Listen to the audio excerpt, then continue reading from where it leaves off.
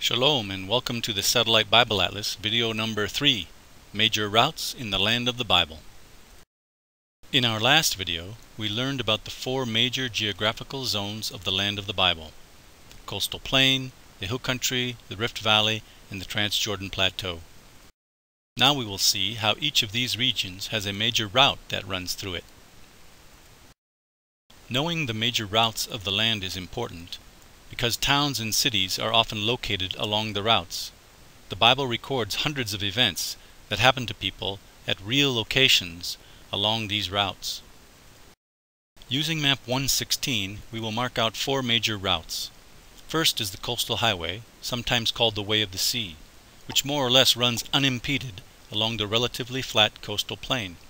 The coastal highway is a major section on the international route that joins Egypt to Mesopotamia. However, note Mount Carmel, which is a barrier to travel. Later we will see how the route traverses Mount Carmel through a pass to the Jezreel Valley, then to the Sea of Galilee and further north. The second route travels north-south on the watershed of the hill country. This route is called the Road of the Patriarchs because Abraham, Jacob, and Joseph frequently traveled on it. The third route is the Rift Valley. The flat plain provides convenient travel between the Dead Sea and the Sea of Galilee and further beyond to the north. The fourth route runs north-south along the Transjordan Plateau. The route is called the King's Highway. Further to the north, the Bible calls the route the way to Bashan. The route continues beyond Bashan to Damascus. Let's see these same routes on map 1-2, where they appear finely highlighted in yellow already. Here is the International Coastal Highway, smooth sailing until Mount Carmel. Then the route uses a valley pass that runs through Mount Carmel and into the Jezreel Valley. Note the city of Megiddo, which functions as a sentinel guarding the pass through Mount Carmel. Megiddo, a city mentioned in both the Old and New Testaments, draws its historical significance from the layout of the regions and the routes.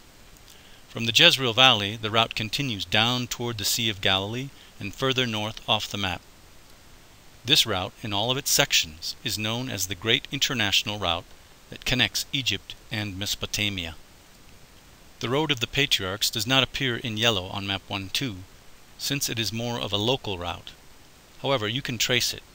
Remember, it follows the watershed in the hill country. From Beersheba in the south, follow it past the cities of Hebron, Bethlehem, Jerusalem, Bethel, Shiloh, and Shechem. Then it descends into the Jezreel Valley where it joins the international route.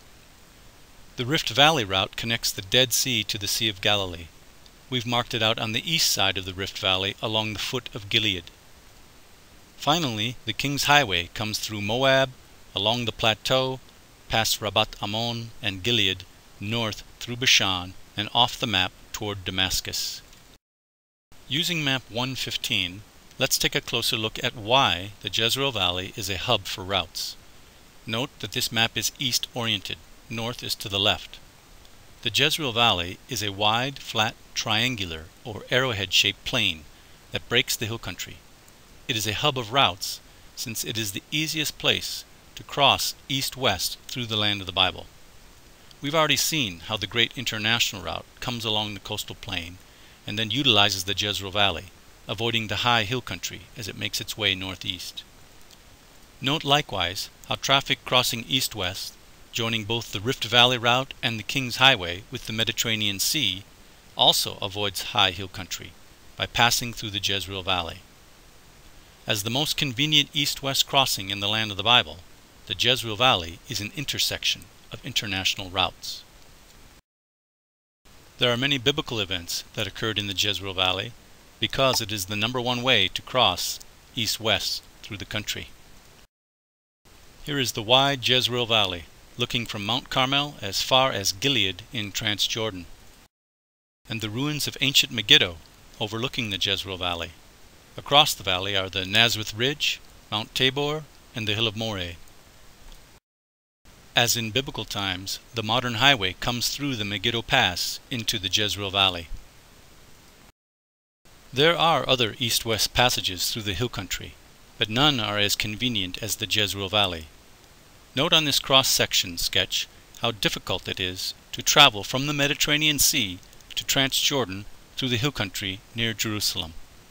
Leaving the coastal plain, one ascends nearly 3,000 feet to the hill country watershed, and then descends over 4,000 feet into the Rift Valley. The ascent to Transjordan is another 4,000 foot climb. In comparison, traveling west to east via the Jezreel Valley involves a relatively flat journey and ascent of little over 200 feet.